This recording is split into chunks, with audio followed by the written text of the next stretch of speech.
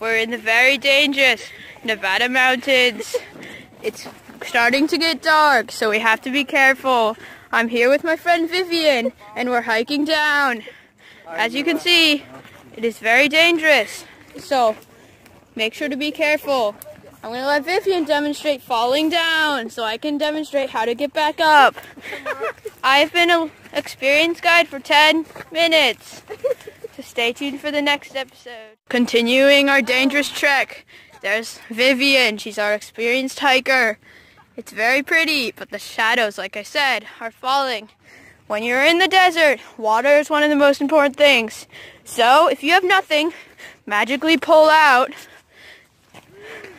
your bottle of water. It is empty, but we can change it. In a snap, we'll make it full. And we're feeling dangerous. We're so close, but the hikers are starting to get tired and exhausted. They still have water, but it's almost empty. One of them has just passed out. Oh, really? Did you just fall? now, here's our shepherd. Uncle Alan. Luckily, we still have me, the guide, who has now been a, a guide for one hour. I'm learning things every minute, just like we have to keep up, because we don't want to be late for Chinatown dinner. So remember, taking pictures is the most important rule. Start. Remember, important safety rules in the wild. Safety is the second most important. The first, good and good, getting good pictures. Yes, as we have heard, that's the number one rule. So let's snap a selfie, even though there's a wolf right over there. One rule of hiking in the desert. And that is to get good pictures. He led us down the wrong turn, and now we only have the city. He also has broken the number two rule to lead us down the path that has the longer path.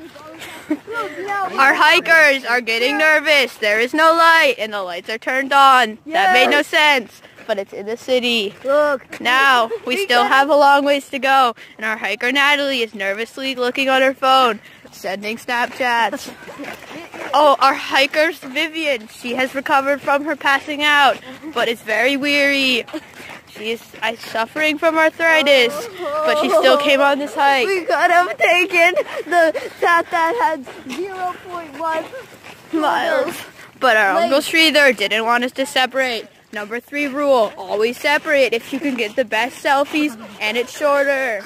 Here we have Vivien. We are waiting. The sun is almost setting. Here's another hiker, Natalie. We have to be careful. The sun's almost setting, and we don't know if we can make it. They almost jumped off. It's getting dangerous. Here's Stephen, another hiker. We might die. Always be safe. Always be safe. Quotes from people. Give me a Y. Y. Give me an O. O. Give me an L. L. Give me an O. O. What's that spell? YOLO. Woo!